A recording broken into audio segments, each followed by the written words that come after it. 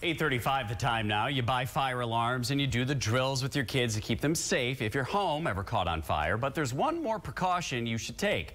Rusty Wise from Mr. Sparky here to talk about the safety of your electrical system. Good morning to you, Rusty. Morning. Well, let's kind of start with the idea because I think a lot of people, until something goes bad, they don't think about it. But how often should we be checking our electrical system?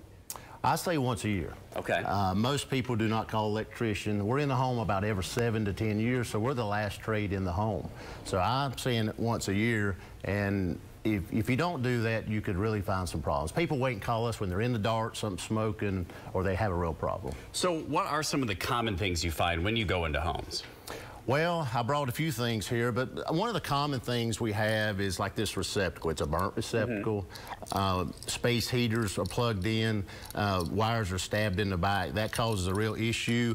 I also brought, you know, this bus bar. This is a burnt bus bar that we find a lot. You would think, no, that's not a common problem, but it is a common problem. Now, is that because of simply age? Is that possibly poor craftsmanship on whoever did the work?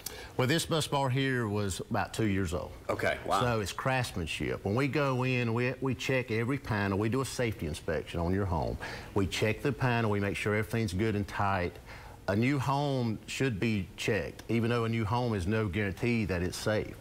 And you're able to use some newer technology here. This looks like something out of Ghostbusters. What, what does this do? Well, it does catch ghosts, but it also catches electrical problems. But it, it's a fluke meter. Uh, you know, you, you, you can shoot it towards electrical panel. And a lot of times you can't feel or see heat. So this picks up the heat signature of the panel. And if you have a weak junction like that, it will show up.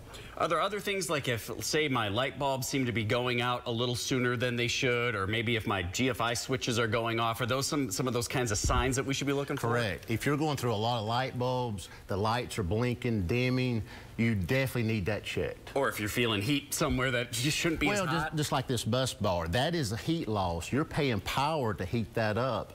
So a weak junction is a heat spot, and so you're paying energy for that. So, you know, if your power bill is kind of creeping up, you know, let us come in and check it. So how do we get it set up with uh, Mr. Sparky Checkup? You, you can call us at 888-823-3060. You can go to our website, uh, mrsparkycharlotte.com. Uh, Google us. Uh, we're on the web. We're everywhere. You, you can find us. And we have technicians all in Charlotte Market. They dispatch from home. You may have one in your neighborhood.